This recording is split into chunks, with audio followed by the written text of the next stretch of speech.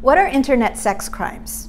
Internet sex crimes can involve communications between people on any number of the digital platforms out there. So that can be on Facebook, Instagram, WhatsApp, WeChat, any of these platforms that are easily accessible by law enforcement, particularly the feds.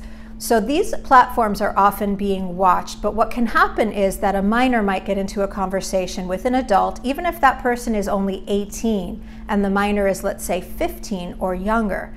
And the 18 year old doesn't know that this person is a minor or isn't aware of the fact that this is extremely dangerous and illegal.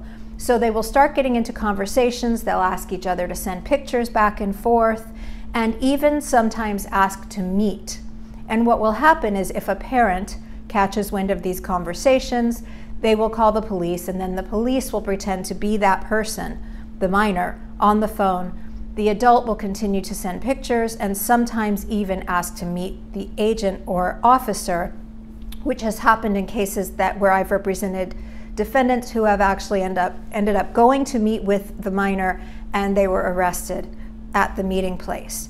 So be aware that the feds and local law enforcement do have access and they can get subpoenas and they can get WhatsApp records, even though you think that they don't last.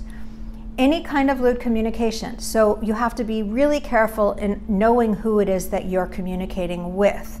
Of course, the other kinds of sex crimes involve pornography, which we can talk about in another video. But these crimes lewd conduct with a minor on the internet can carry extensive prison sentences. So it is imperative if you are under investigation or if you have been arrested for any of these crimes to contact me, an experienced federal criminal defense attorney, and a, a state criminal defense attorney in California to represent you and to try to get the best possible outcome for you in these cases. Thank you.